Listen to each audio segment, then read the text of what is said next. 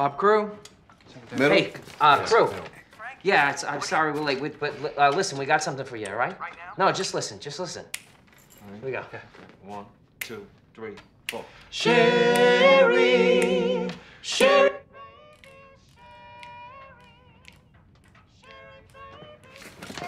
Set up the eight track. What for? We're gonna double Frankie's voice. It's gonna explode right off the radio. Never heard of that before. Because it's never been done before. I'm a genius. I'm Right, yeah. That's good, right? Right, Crewe? Yeah, we'll be right over.